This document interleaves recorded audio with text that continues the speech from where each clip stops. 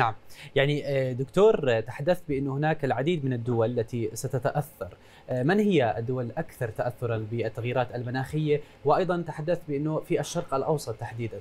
حدثني أكثر طبعا يعني إحنا برضو لما نقول ما هي الدول اللي سوف تتضرر آه، يعني كان الدراسات والأبحاث والتصورات والتقارير إن بيتكلموا تاره الدول الأفريقية أكثر تضررا. آه، تاره منطقة الشرق الأوسط لأن فيها يعني الصحراء الكبرى آه، أكثر تضررا. بعض الدراسات تحدثت عن إن المدن اللي هي ليها سواحل خاصة على المحيطات هتكون برضو من الدول الأكثر ضر- تضررا ولكن إحنا يعني في النهاية لازم نعود إن الجميع سوف يتضرر.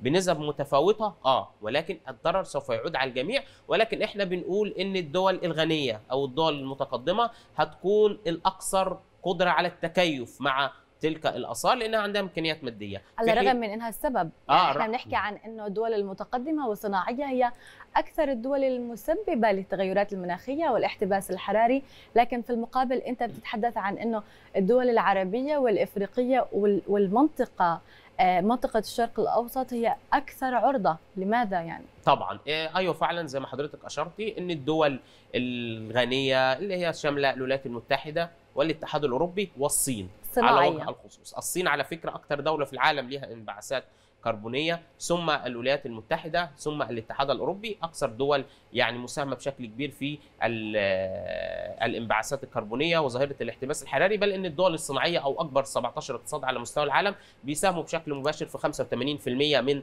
تلك الظاهرة. فإحنا كنا بنقول آه ليه المنطقة ال- العربية أو الشرق الأوسط الأكثر تضررا؟ طبعا فيها مجموعة من الدول كبيرة جدا بتطل على المحيط.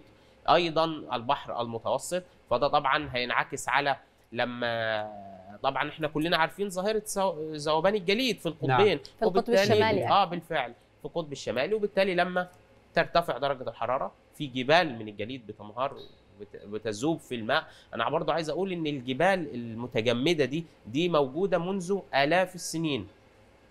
وطبعا بالفعل آه لما بنوصل لتلك الظاهرة تماما. يعني هو رح يكون في تأثير على حركة النقل والمواصلات كمان برا وبحرا وجوا.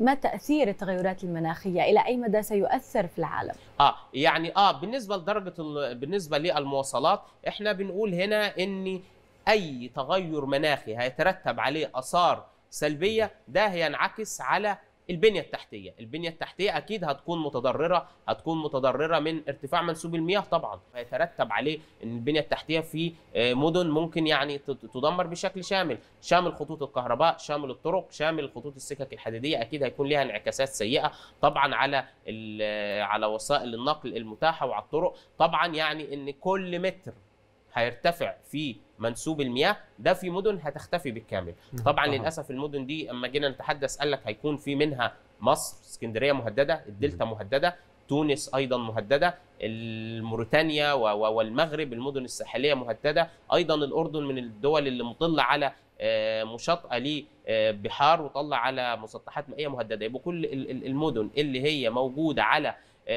مطلة على بحار والمدن دي كانت بتعتبر أيقونة لدولها على فكرة لأن يمكن الدول يعني مثلا إسكندرية لمصر كل المدن الأخرى اللي موجودة آه، في باقي الدول دي بتعتبر يعني أيقونة لتلك الدولة أو بتعتبر عاصمة صيفية فللأسف دي هيكون عليها ضرر كبير وهتكون من المناطق. اللي آه، تتضرر آه.